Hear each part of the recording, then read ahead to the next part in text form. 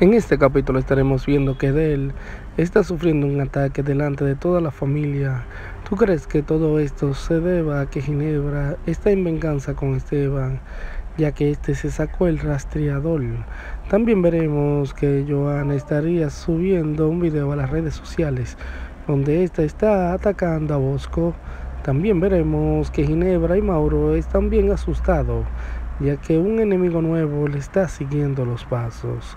Así que sin más preámbulo, para que no te pierdas de este capítulo completo, te recomiendo que te suscribas a este canal y no olvides dejarnos tu like para que así puedas disfrutar de este capítulo completo.